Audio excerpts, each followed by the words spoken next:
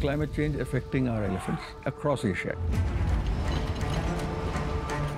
कि हम six mass extinction की तरफ बहुत तेजी से बढ़ रहे हैं There's a pile of plastics accumulating in this deepest part of the country. Marine turtles often mistake floating plastic as a marine animal.